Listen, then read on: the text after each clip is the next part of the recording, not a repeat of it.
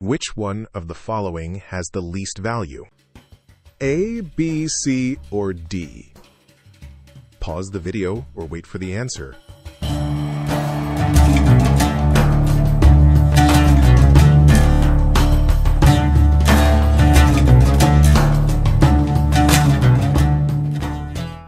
Answer is C.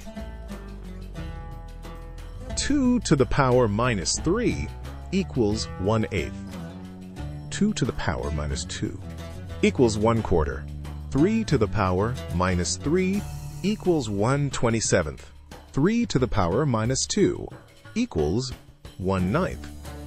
Since these are all now expressed as unit fractions, the one with the least value is the one with the greatest denominator, which is 1 27th, equals 3 to the power minus 3. Can visit us at mathsisfun.com